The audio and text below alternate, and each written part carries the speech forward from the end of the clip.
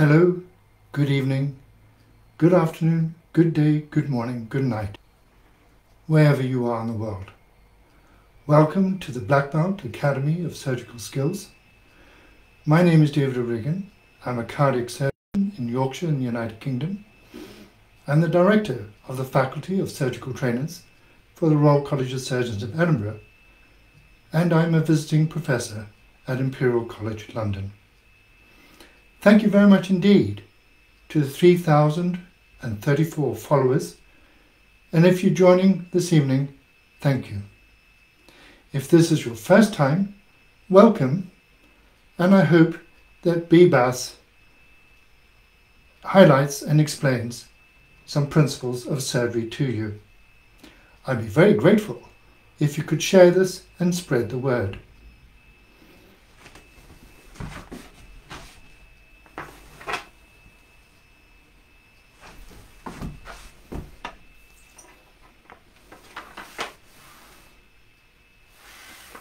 One of my hobbies in martial arts is that of drawing the sword. And why I like drawing the parallels between martial arts and surgical training is described by the classic text of the Japanese Way of the Sword by Miyamoto Musashi. And this is from 1643, and he was a famed and undefeated samurai warrior. Martial arts are the warrior's way of life. I would say that surgery is the surgeon's way of life. First, let's illustrate the idea of a way of life. Buddhism is a way of helping people. Confucianism is a way of reforming culture. For the physician, healing is a way of life. Others pursue archery and various other arts and crafts and people practice the ways to which they're inclined, developing individual preferences. Very sage advice from 1643. But what I just did is draw a sword. And this is a brief text on the art of drawing the sword. And I've often reflected that when I started surgery in 1987, I was told, you know your anatomy, Therefore, here's a knife, there's a list, and proceed. The art was not described, and I've never heard anybody in my training describe how to use a knife. Bar one, Mr. Southwood in 1987 said, told me how to hold the knife, which I'll show in a moment, but wouldn't allow me to do an operation because I couldn't cut properly. So, chapter one of Drawing the Sword, Ippon Mei Mei, is mind like water. A reflection on the water is a symbol of a clear, calm mind in harmony with its surroundings, the highest level of training in martial art. And before we actually draw the sword, let me put you in the right frame of mind. You must empty your mind of the day's thoughts. Close your eyes, think of something pleasant, something that has happened or that you wish should happen. Let your shoulders relax. It is most important to be relaxed before and during practice. Remember, if you throw a rock into a pond, it makes a splash for only a second. Then every drop of water returns to its previous stillness, as nothing had happened. This is most important. The art of drawing the sword is literally now you see it, now you don't. And I drew the sword slowly because I'm in a confined space. But the experts can draw it within a heartbeat and a single breath.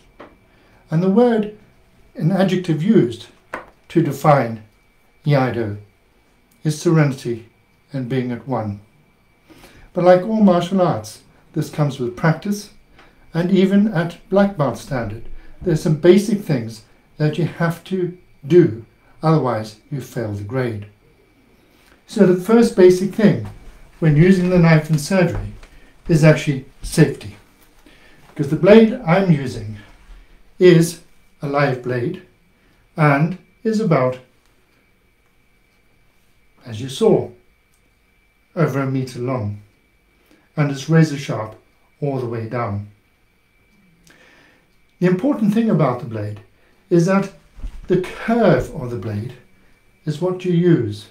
And when using the blade, you're throwing it out like a fishing line and you're using the shape of the blade and the action to do the cutting. And that is much the same when using the scalpel in surgery. So I'd like to take you over to the overhead cam as we get used to this fabulous new camera. Uh, bear with me one moment.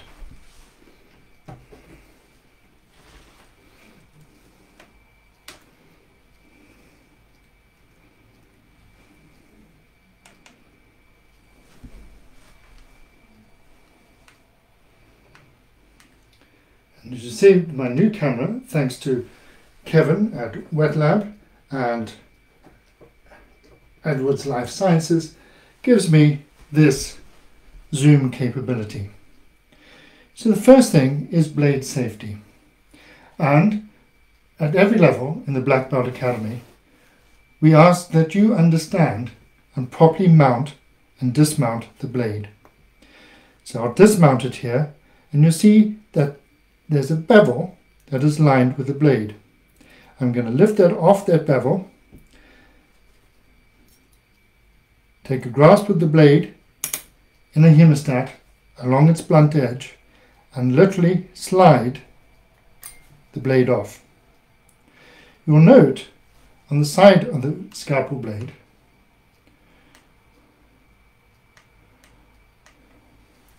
there's a little groove there which a nail can run along and it's that groove in which the blade should sit. So to put it on, again pick it out of the packet on the blunt side with a good hemostat and a good grip. Slide it into the groove and pull it over the top. Note it's a one hand movement. It is a one hand movement and at all times the blade is pointing in to the table or an inanimate surface. Therefore, there's no risk of it flying off or stabbing anybody or any patient. The next important thing is when passing the blade, it's best passed in the kidney dish and taken out of the kidney dish. That removes any chance of any injury. But if you to pass the blade, you pass the blade handle first and blade down towards the person such that if they take it out your hand, there's no chance of that sharp blade cutting your hand at all. The way you hold the scalpel is much like the way you hold a sword. And it's the grip that is the most important thing. And as in previous sessions, I've highlighted the importance of our grip ensuring that the palps of the fingers are applied lightly to the instrument. You need to hold the knife like a knife and not a pen. That means that the blade is held in the palm of the hand. My thumb and my middle finger are maintaining the perpendicular and my index finger is extended down the blade for direction, but also to give you an appreciation of the amount of force that is required. By holding it this way, you are feeling it with three of the fingers and directing it with the index finger. Now, the common blades that are used like this are the 22 blade, the 10 blade, and the 11 blade. I'll come on the 15 blade and I'll come on to the 11 blade in the moment. But the important thing is that the working angle of the blade is the belly. There. So your blade should really be coming in at 45 degrees to the surface such that you're using the blade itself. And that applies to 22 blade, the 10 blade, and the 15 blade. So you're using the belly and not the point. The point is very useful in the 11 blade. So to demonstrate some of this, I've got some pork belly here, and I'll first use the 11 blade. Now the 11 blade is used for incising, usually abscesses or drains. And the blade should not be just plunged into the skin. The blade needs to be insinuated and felt in the skin. So note the way I'm holding it. I'm holding it, again, thumb, middle finger, and index finger. My middle finger and thumb are stabilizing the blade, and my middle finger is extended down the shaft, and that is controlling the depth that I'm using. And certainly when I'm opening the aorta for bypass, I'm holding the blade this way and insinuating the knife in, and I can take it out. Before you make any incision in a patient, any incision whatsoever, there are a lot of decisions, and we've discussed the decisions previously. Remember that unlike you think taking a needle through tissue, as we've done previously, once the knife goes through the skin, your action becomes irreversible. So you need to be certain what you're doing, why you're doing it, at the right time, and the right person, for the right reason. Two things that junior surgeons forget. One, your incisions all named after famous surgeons, are named and placed according to bony landmarks. So in fat people, it is very easy to think, oh, it's off to the left here, when it should be, for example, an appendix incision, and I know it changes with port incisions, but they're all related to bony landmarks. Make sure you know where those bony landmarks are. Secondly, is that with obesity, the skin and the subcuticular tissues will move side to side. So it means when you put the drape on from one side to another, the tissues will move as well, distorting the anatomy and the placement of the incision. So I'd recommend that you place the patient on the table correctly, check the side which you've previously marked, and pull the drapes down from the top. These are deliberate things to ensure that your incision is perfect. Support the skin with your non-dominant hand and apply the blade perpendicularly to the skin and draw it perpendicularly along support and deliberately supporting the skin in stages at each point. Now, the difficult thing is, is that, and why Mr. Southwood did not allow me to do a Ramsay procedure as an SHO is because he wanted to know that my blade was 90 degrees all the way through. Because if we're not 90 degrees to the skin, what happens, and this is an incision through a sponge, and I've drawn a felted pen over the edges, you end up with bacon slicing like that. And you can see when the edges come back together how irregular it is, where if it's perfect there, you can hardly see the tissues underneath my felt tipped pen ran over the top there, and that was an irregular cut. So in one incision, perfect, not so good, and a little bacon slice, and that's what you can see there. The other important thing is when you're doing a big incision, and remember that the drapes will often confuse you and not perfectly aligned, and many people, consciously or probably unconsciously, move parallel to the drapes. Again, your incision is offline. We're making a long incision, and in the Black Belt Academy, we teach 5 centimeter incisions, 10 centimeter incisions. But what happens with a 20 centimeter incision, like we do in cardiac surgery? perfectly down the middle. Problem is, is that people fail to abduct the arm and start twisting around at the hip as they continue the incision. And you end up, and I'm in Yorkshire in cricketing terms, a Yorker. And a perfect incision is one that is up and down. Now, the other important thing about incisions is that you need to use the full length.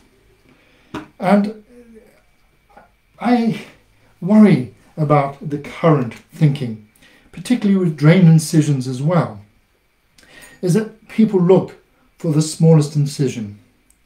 But the important thing is to remember that at either end of the incision, particularly during a long operation, at each end, particularly with a retractor, or whether it is a port or laparoscopic surgery, whatever it is, at either end, there, there, there, the prolonged stretching of the wound will end up with ischemia of the tissues there and a rotten, rotten cosmetic result. Now, the problem with mounting an 11 blade on a straight handle and trying to do a fusiform incision to remove a lesion, for example, there,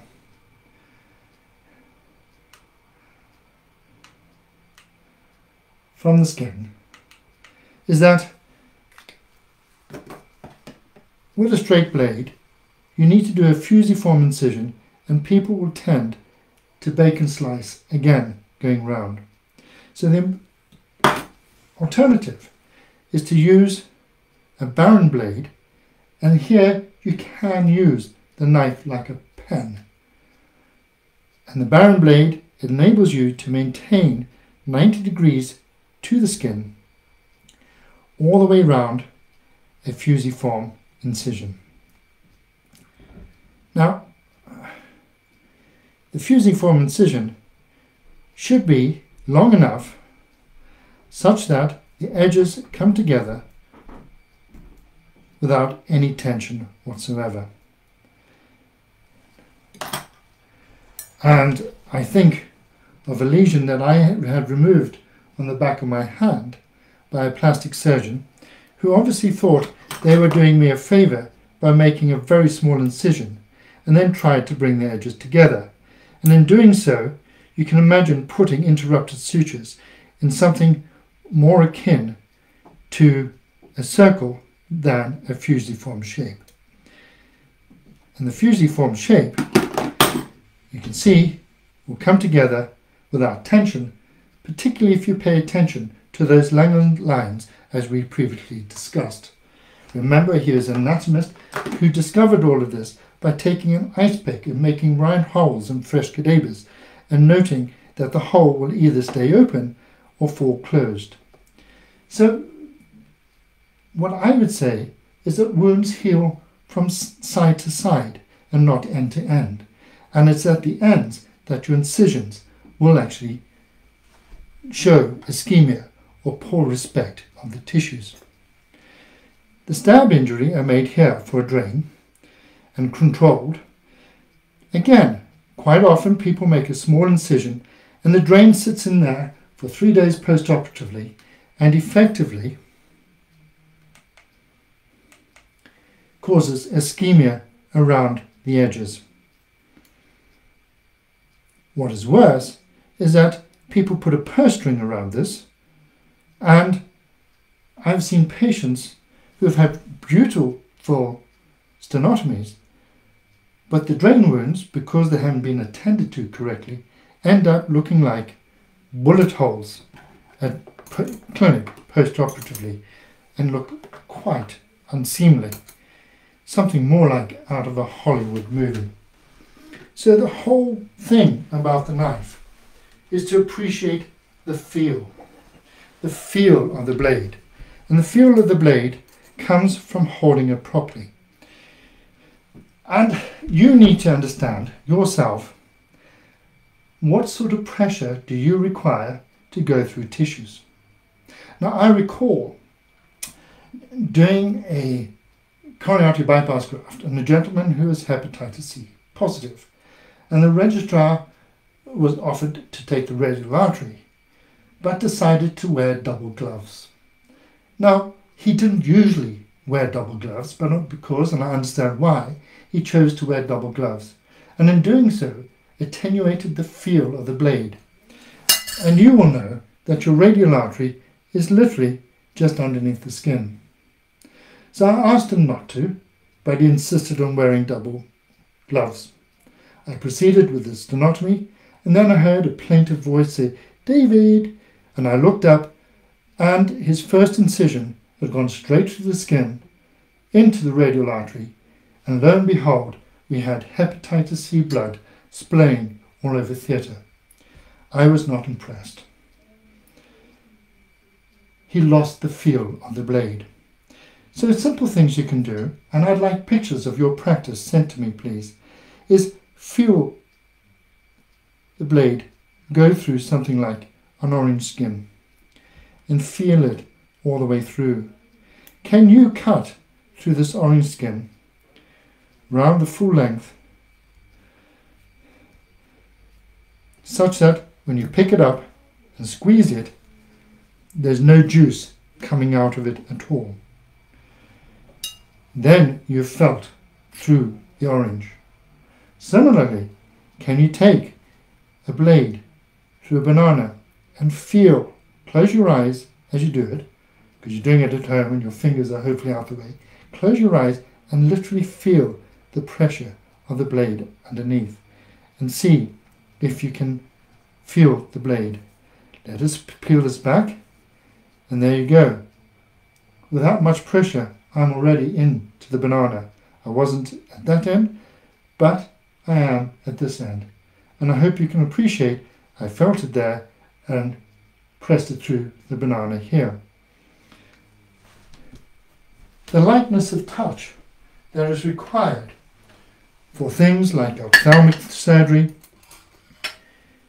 hand surgery, neurosurgery, all needs to be cultivated with practice. I've previously demonstrated stitching skills using a poached egg. But let's see if I can stroke blade over the surface and just make a delicate incision in the membrane itself without actually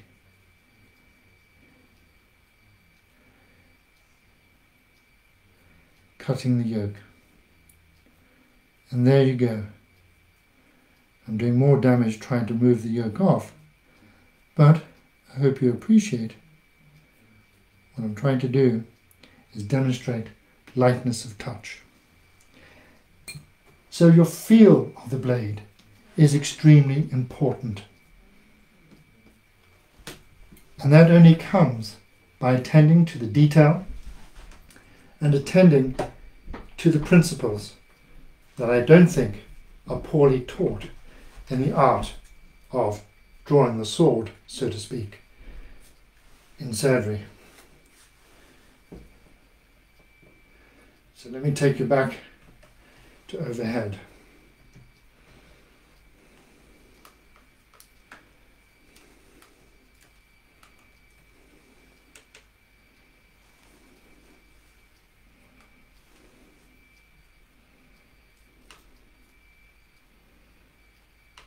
I do love this camera and thank you Kevin. So I hope you understand why I believe that martial arts and the principles thereof are very applicable to surgery. What's interesting, in Japan, there's a long history of samurai in many surgical families. Indeed, one of the common pediatric congenital operations was described by a Japanese man of samurai lineage, and he did not attend international conferences because he stuck to Japanese traditions and only spoke Japanese. It was his Australian trainee that watched this operation and took it back to Australia and it's that Australian who is now named for the operation, but the samurai warrior surgeon was not. Perhaps foolhardy in his case by taking it to the extreme. I hope that this has made sense to you, and I look forward to seeing you next week when we go further and discuss the art of dissection by now using the blade in a different way and introducing the scissors, the other cutting tool that we frequently use in surgery. Thank you very much indeed for supporting the Black Belt Academy of Surgical Skills. Please spread the word. I look forward to seeing your pictures of your practice and I hope you join me next week again at the same time. Be well and be safe. Thank you very much.